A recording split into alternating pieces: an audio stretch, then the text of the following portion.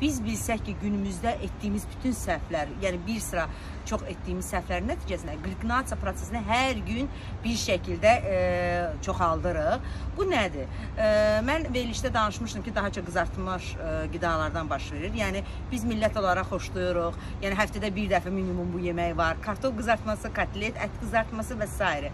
Və qızartma olarkən e, içli mən qarışıq. Yəni biz insanlar nəyi çox sevirdik?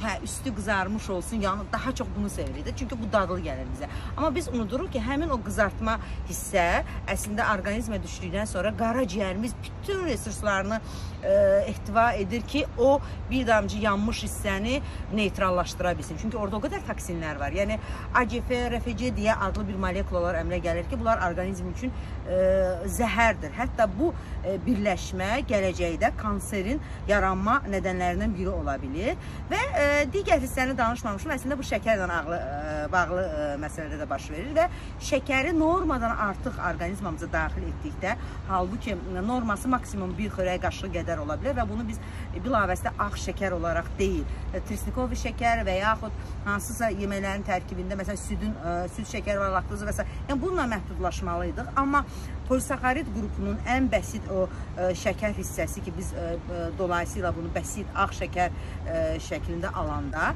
bu normadan çox olduğu təqdirdə nə baş verir? Orqanizmamıza düşən şəkər hüceyrələrimizin zülalı ilə, beloku ilə birləşir. Yəni məsələn qanımızda da belok var. Hemoqlobin bu özü zülaldır və qanın hemoqlob beloku ilə, zülalı ilə birləşən şəkər anında qlikasiya prosesini yaradır və bu zaman zülalın ə, funksiyası pozulur. Yəni çox dəhşətli bir şeydir. Çünki bütün ingrediyentlərin özünün orqanizmdə funksiyası var. Məsələn, karbohidratın funksiyası nədir? Bizə enerji vermək. Zülalın funksiyası nədir? Struktur formalaşdırmaq, yəni orqanizmamızın hüceyrələrini yeniləmək. Siz təsəvvür edirsiniz ki, bu funksiya pozulsa nə baş verir? Təbii ki, hüceyrələr yenilənmir, əksinə qocalır. Şəkər nə edir? İlk növbə kollageni məhv edir, elastini məhv edir, fibroblastı məhv edir. Və buna görə də dəri qocalması, qırışların vaxtından tez əmələ gəlməsi, yəni qocalmanı bilavasitə sürətləndirən proses baxın bu idi qlikinasiya. Ona görə də nə etməliyik? Biz qızartmalardan uzaq qaçmalıyıq və şəkəri minimuma endirməliyik. Bu qədər.